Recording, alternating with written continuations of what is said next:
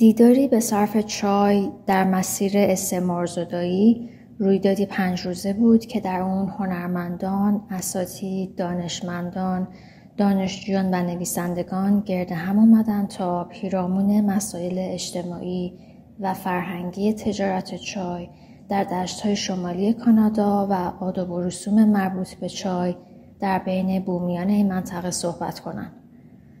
من در این گرد همایی حضور داشتم تا در مستندسازی این رویداد با برگزار کنندگان اون همکاری کنم. به عنوان یک شرکت کننده که با فرهنگ ایرانیان آشناست، این گرد همایی من رو بسیار به یاد آداب و رسوم پذیرایی در ایران انداخت. مصرف چای در ایران از اجزای جدای ناپذیر زندگی روزمره مردم هست و بسیاری صبحشون رو با نوشیدن چای آغاز می‌کنن.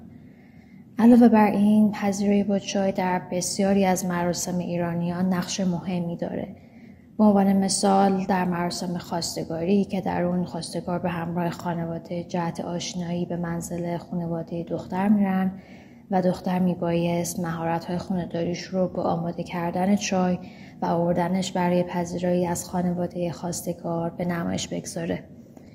در این مراسم آماده سازی چای به طوری که رنگ و طعم مناسبی داشته باشه طبیعتا بسیار مهم هست. به طور کلی در فرهنگ ایرانی مهمان از جایگاه خاصی برخورداره و ایرانیان مردم بسیار مهمان نوازی هستند. اونا برای مهمان احترام بسیار قائلن و این در پذیرایی از اون ابراز می‌کنن. آوردن چای برای مهمون از دیرباز بخش مهمی از آداب و رسوم پذیرایی در ایران محسوب می شده. زمانی که شما به خونه یک خانواده ایرانی میرید میزبان بدون پرسش از شما برای شما یک فنجون چای خواهد آورد و در صورتی که چای شما پیش از نوشیدن سرد شده باشه برای شما یک فنجان چای داغ دیگر خواهد آورد. در این دیدار پذیرایی برگزار کنندگان از شرکت کنندگان با چای شباهت بسیاری به پذیرایی ایرانیان داشت. میزبانان این دیدار های شرکت کنندگان را با چای بسیار مرغوب پر می‌کردند و از اونها مانند مهمانان خود در خانه پذیرایی می‌کردند.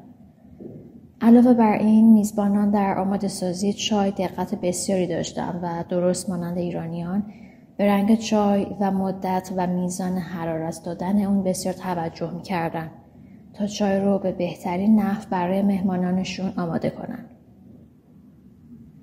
شباهت دیگر این رویداد با دور همی های ایرانیان در این بود که در فرهنگ ایرانی صرف چای بهانه است برای گرد هم آمدن و مصاحبت با دیگری در واقع در ایران افراد یکدیگر رو به صرف چای به منزل خود دعوت می‌کنند تا کمی با یکدیگر تعامل کنند و از حال یکدیگر بپرسند و یا در حین صرف چای در مورد موضوعات روز با همدیگه صحبت کنند میزبانان این دیدار هم صرف چای را بهانه کردن برای دعوت از میهمانان و فراهم آوردن شرایطی برای شروع یک گفتگو. در واقع گفتگو و چای دو جز جدا نشدنی در چنین محافلی هستند. هرچند که در این دیدار چای به خودی خود موضوعی بود برای این تعامل. نکته دیگری که نظر من رو بسیار به خود جلب کرد استفاده میزبانان از ظروف باستانی و مخصوص مراسم چای بود.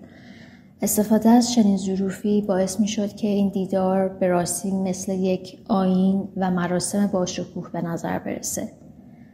از طرف دیگه نوشیدن چای در ظروفی که اجداد سایر ملل در اون چای نوشیده بودند به نوعی کنجکاوی شرکت کنندگان رو برمیانگیخت و موجب طرح سوالات جالبی از جانب اونها می‌شد. علاوه بر این برگزار کنندگان این دیدار چیدمان وسایل و نورپردازی گالری رو به نحوی انجام داده بودند که محیطی دوستانه رو برای شرکت کنندگان فراهم کنند تا افراد ضمن گوش دادن به صحبت‌های میزبانان در خصوص تاریخچه چای و مراسم نوشیدن اون در مناطق مختلف دنیا از مصاحبت با دوستان خود و نوشیدن چای هم لذت ببرند. در مجموع حضور در چنین کنفرانسی برای من تجربه بسیار آموزنده ای بود. مشاهده شباهت بین دیدار به صرف چای در مسیر استعمار زدایی و مراسم آین چای در فرهنگ ایرانی و سایر فرهنگ ها من رو به این فکر انداخت که تمامی این مراسم آین ها در جهت ایجاد تعامل میان افراد شکل گرفتند و اینکه شاید به راستی مسیر استعمار زدایی چیزی جز گرد هم آمدن و گفتمان نباشد.